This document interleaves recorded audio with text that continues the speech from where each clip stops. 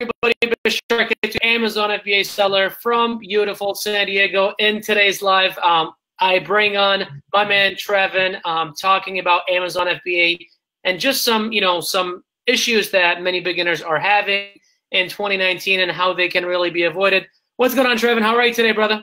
I'm doing super great. I'm super excited to be on here with you. Thanks for having me.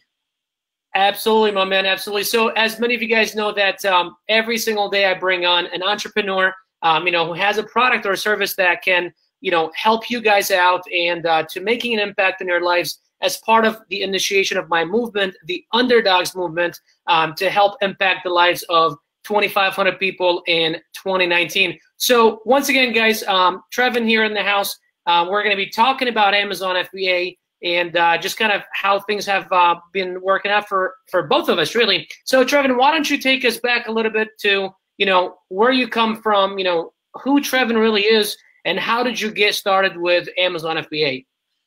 Awesome. Well, I, am nothing special, to be completely honest. I'm 23 years old.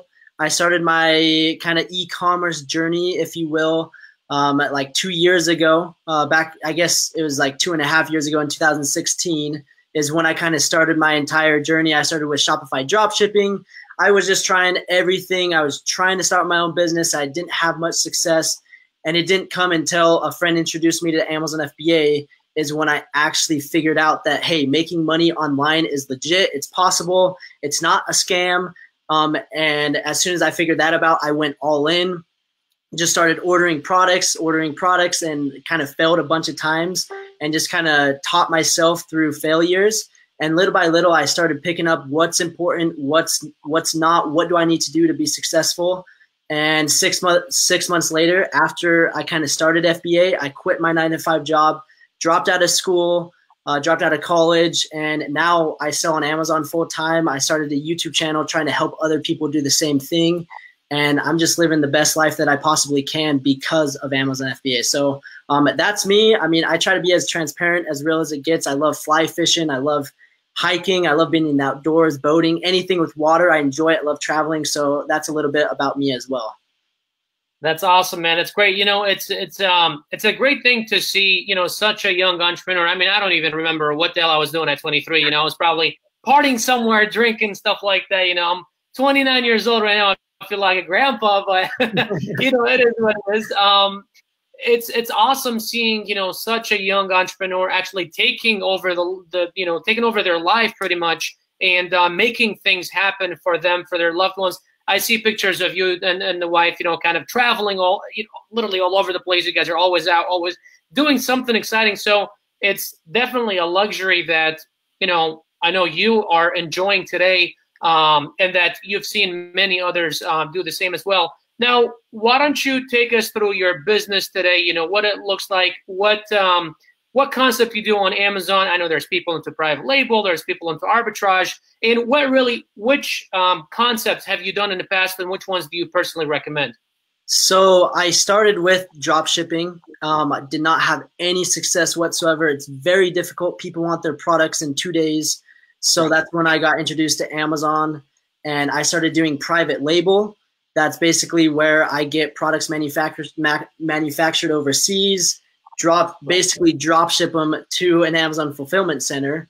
Um, you're ordering the inventory up front, and then as soon as people order that product, Amazon does the fulfillment. Right. Um, so that's kind of the private label method. I've done retail arbitrage. I, I've done uh, eBay where I go to the thrift store, pick up items, and I flip them. I buy it for a dollar, flip it for eighty. It's just that business model is very difficult to scale. And so, out of all the business models that I've tried and I've tested and I've done, Amazon FBA has been something where I can actually scale. There's kind of a system, it's a formula where you, if, if you just do this, this, and that, you can be successful. And that's kind of what I've been able to do is just right. replicate that success over and over with private label. Absolutely. Absolutely, man. Definitely, definitely. Well, you know, same with me. You know, I was totally broke. I had just literally lost my business, and uh, you know, I was just kind of like in a ditch, right? I had no no money to do, do anything, and I with online arbitrage, I guess you want to say, and um, like drop shipping, and as you know, everyone on Amazon is used to product in two days, and then when you're trying to order from like Walmart or Target, they tell you that the product isn't going to be there until like two weeks or three weeks or whatever, and it's it's definitely a nightmare. and it happened to me a lot of times where I thought it was the right product, but then when it got to the customer, it was like kind of different in like a way where you really couldn't tell. And uh, you know, I I know I got my my account suspended a couple times. Now I know, you know, we both know that Amazon isn't um, what it used to be before. Correct. What is, I guess, what is the one thing that you would suggest to someone trying to start Amazon FBA today, or that have started Amazon FBA and and you know in the past couple of months to avoid, you know, making what's what's the one mistake that you you know suggest someone avoiding in 2019? So I mean, there's a few things that come to my mind, and kind of like what you said, you got your account suspended for doing something, whatever it was. Right. So many sellers are getting their account suspended because they don't know what they're doing and they're just going up, winging it, throwing up random products, selling products that have patents on it, infringing on trademarks, trying to sell restricted products, trying to get fake reviews, and they're just trying to manipulate the system and taking shortcuts. Therefore, you're going to get your Amazon account suspended, blocked, um, and basically banned from selling on Amazon. So you need to understand what you can and can't do. And right. so many times people want to take these shortcuts.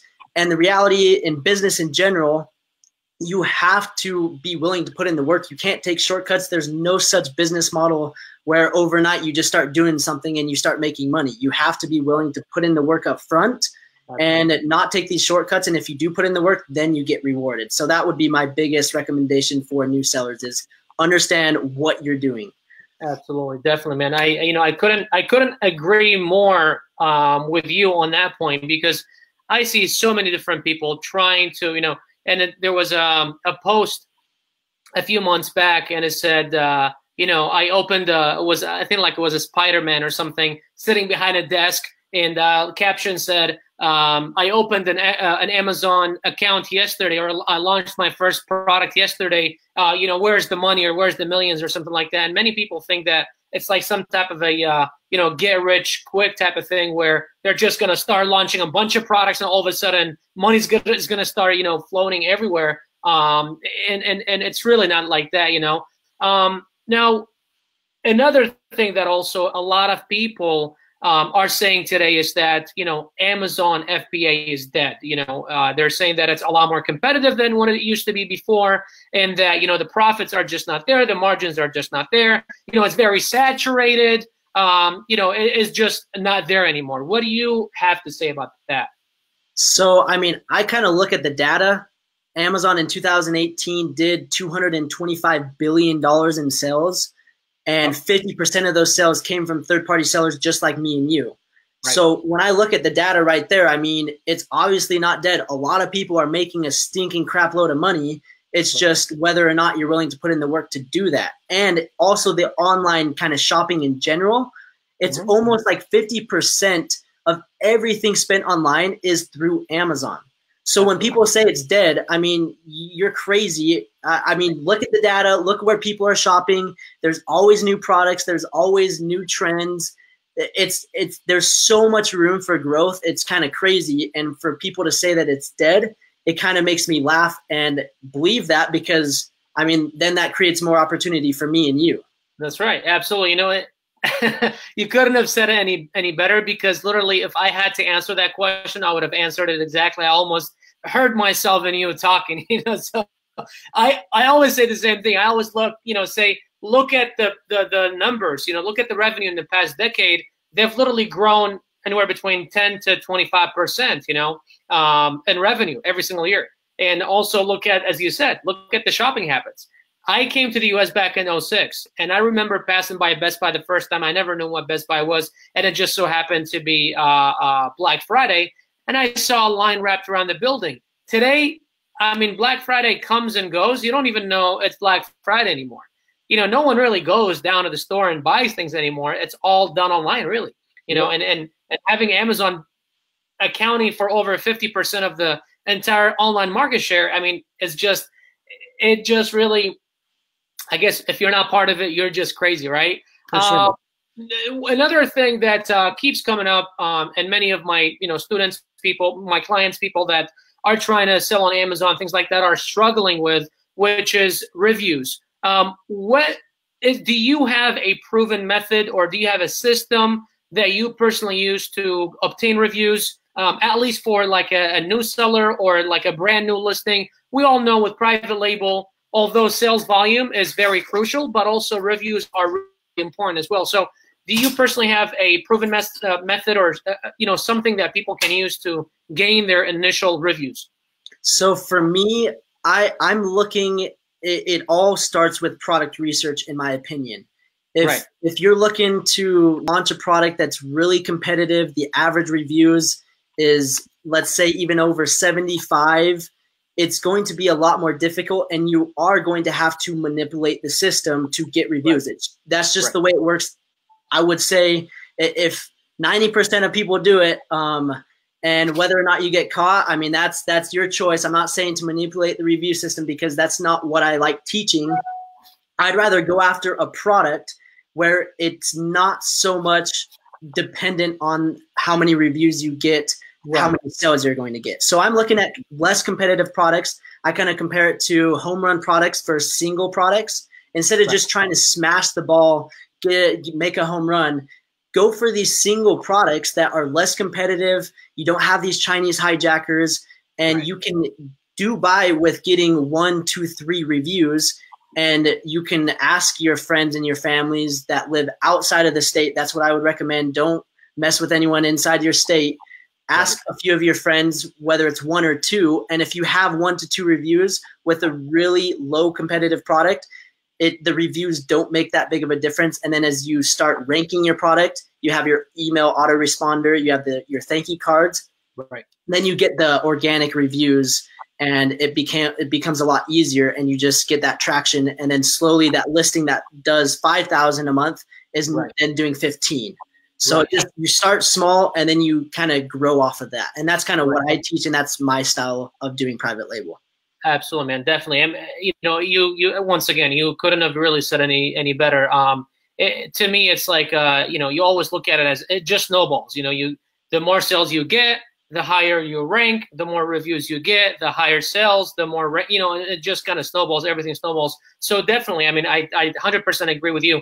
Um, another topic that always comes up is launch. Um, what is something that you can say, you know, comfortably here on the channel? um, what is your style of launch? You know, do you do giveaways? Do you do PPC? Um, do you do either or? Do you have a different, you know, method that you, you know, you'd care uh, sharing with us today? So as as crazy as it seems, I've never ever used a giveaway service to launch any of my products. And okay. the reason being is I go for less competitive products where I don't have to give away so many units. I mean, the hard thing with giveaways is you, you have to give away like 300 units to rank and right. that 300 units could be a thousand dollars and a oh, lot of people don't have a thousand dollars to spend i mean Absolutely. we're starting out with 300 units so right. if you are in that situation where you don't have a big budget then you cannot go after a competitive product because the reality is is if you're selling a competitive product the only way to rank is to do giveaways Absolutely. So I, I mainly do uh, PPC campaigns really heavy on PPC campaigns. Um, it's a lower competitive product. I go after these different keywords. Um, using right. Helium 10 Cerebro, um, pulling the reverse ASIN lookup, you can find these keywords that no one is using. There's like 100, 200 competing products, and the pay per click for those keywords are super, super low. And so you can rank on those lower search uh, keywords and then slowly, slowly build your way up to the higher search terms so PPC, right. and then another awesome way, um, which I've had some of my friends do on on a super competitive product, is ManyChat launching uh, with right. Facebook ads, um, and right. basically having coupons saying, "Hey, enter in your name here. We'll send you a coupon code." And doing it that way, and that way, in my opinion, for a competitive product, is by far the best way to launch. But for a less competitive product, just doing PPC campaigns, and then also using the giveaway service. I've done this a right. few times inside Amazon itself. You can right. get some traction with that as well. So um, it just kind of depends on the product. Is kind of the approach that I take. Absolutely, man. That's awesome. That's great. So I mean, you know, and and kind of like it's. I always say, listen, it's the the the whatever the road you take, you know, it doesn't matter how you go to it as long as you get there. You know, like once again, I like doing a little bit. You know, I'm a little bit more heavier on the giveaways, but absolutely, I don't like giving away 300 units. You know, I make sure that we look for products that are you know low uh, low on competition, um, and you know we go about it that way. So everyone got you know got their own way. That's why you, know I really wanted to see the way that you do it, which is pretty awesome. Now with so many tools out there with for product research, you know, uh, uh, reverse ASIN, launches, all these things. What is one of your current favorite, um, you know, tool out there today that you love using and you really suggest it to everyone watching today? So, in my opinion, the tool that has changed my entire FBA business is Helium 10. Right. What they're doing, I mean, it is incredible for the amount of tools that you get for the price and the right. tools that they offer. Just literally are, are, in my opinion, this is my opinion, Trevin Peterson's opinion, are better than Viral Launch, are better than Jungle Scout. Um, right. And especially for the value, you're, you're just getting so much. And I would have to say Helium 10 Cerebro would be my all-time favorite tool because it helps me with product research and it helps me to optimize my listing and my PPC campaigns. So that tool, if you don't have it, I would highly recommend that you have it.